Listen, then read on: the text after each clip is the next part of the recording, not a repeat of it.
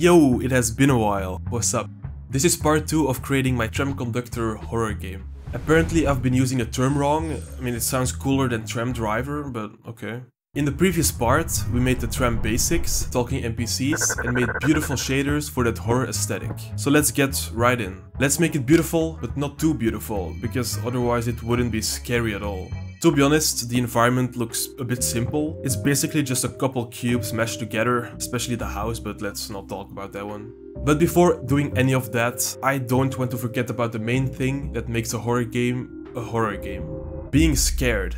I don't want to add a real jump scare just yet, so I created something that I call the warning scare. Simply look at an object of interest is not scary enough, so I added a little bit of FOV zooming and of course a sound as well. Just like with a real jump scare, it'll be very important to not overuse it. Something that has been bothering me for a while is the tram audio. I'm a bit of a perfectionist, which is probably the biggest reasons why these videos take so long to make, but it's purely for testing, but it's time to actually find some good sounds online. So I did that, but it was actually very hard to find some useful tram sounds. But by doing some EQ magic and also using some noise reduction, it's actually pretty good.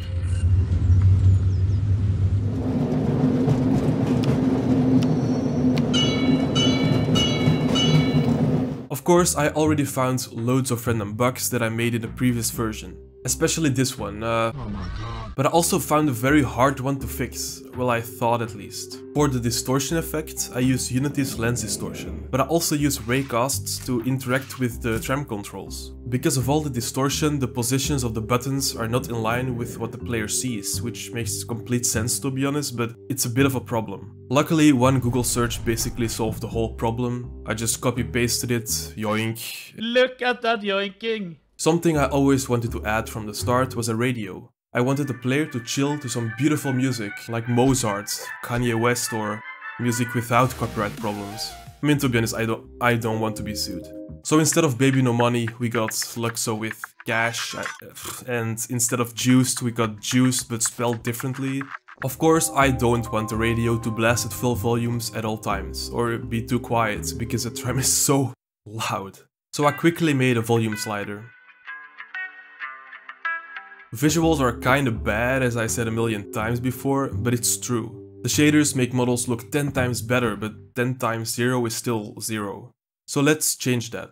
For a game and a team of this size, which is basically just me, I will not be making all the models for the game by myself. And yeah, yeah, before commenting something like asset flip bad, I'm not gonna buy, or like hello Luxo, I am 3D artist, I want to work with you, You'd actually be surprised to know how many developers actually use pre-made assets, especially in the AAA industry, they're just better at hiding it. First, I made a small block out of the tram, because I wanted to check if the dimensions would work well. I found a beautiful old tram model and I transformed it in something like this. All the colors are always very simple, but by combining it with a bit of roughness and all the shaders we made before, it looks fine, it looks pretty good. The textures with the shaders are not too much, they give off the correct vibe and they have some cool detail, so it's actually pretty good. But to be fair, the art changed a lot from the rough materials that once were just one leaf texture, so I had to tweak the shader a bit to make it fit the new style. Much better. Let's add some controls as well. I took some inspiration from other models and pictures and ended up creating these little thingies. I tested it in a game with the beautiful leaf texture, gave it some better textures later on and it looks quite nice. Whenever a tram moves, other things move as well. So I tried to add a sway to the handles of the tram to make it a bit more dynamic and um, yeah, yeah okay, cool. Just to get something done, to make me feel like I didn't waste a day, I added a beautiful backlight. Sure, it, it looks beautiful, I guess. Anyways, a little bit ago, before the tram model was even a thing, I was thinking about the dashboard and how we can know what's going on behind us. So I started creating a way for the player to look around while controlling the tram and uh, we had some interesting results. Very interesting. So I left it like that, couldn't be bothered, but now we're back at it again. It's still a bit rough around the edges, but it works like it should. For now I'm just holding the R key, Oh wait, yeah, yeah, uh, I also added the door animations when pressing this big scary button. But don't press the wrong one because, uh... You know what's very scary in video games? Monsters, yeah, sure. Darkness, true, yeah, I mean, it's pretty scary. Disappointing people, relatable. How about social interaction? That's pretty scary. Anyways, let's make NPCs. I always find it funny when NPCs are as lifeless as possible, so I want to try something like that as well. oh my god. That's pretty scary, but not for the right reasons. Anyways, I got distracted and made a flashlight, because we'll need those either way. I made a very basic model to test it really quickly with the volumetric lighting thing. It looks great. So I quickly made the textures, however, it's very dark and it may be very hard to see, so that's a bit of a problem. Then I fixed the NPCs a bit. They can also move now, uh, not necessarily like that. Okay, no, uh, let's give it some real walking animations. Perfect. After some time, both the man and the woman are done. These are not the finished models as I still need to make dozens of variations of course, but these are just the basic NPCs. I still think the man's mouth sometimes looks like a mustache, but the lips are just very crooked for some reason. They're both walking in place, so I quickly made it so they just stand there, like normal people, possibly judging you for constantly blinding them with a flashlight.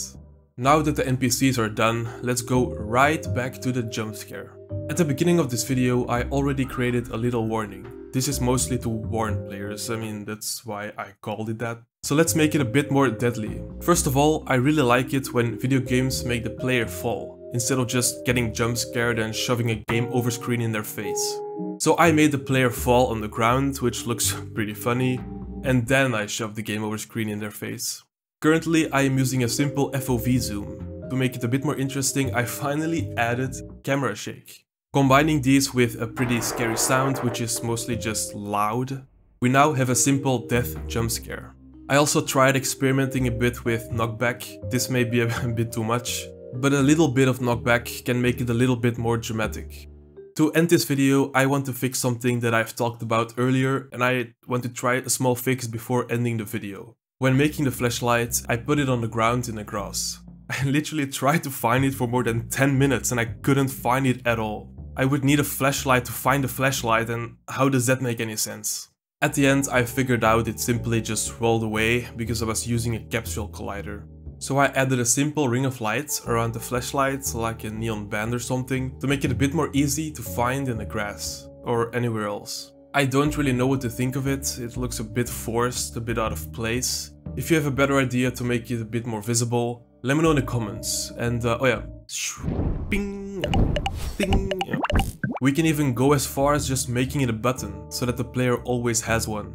Anyways, this is it for this video. It's coming together pretty well, but a lot of glue is needed to put all the different pieces together. In the next one there may be coming a Steam page, who knows.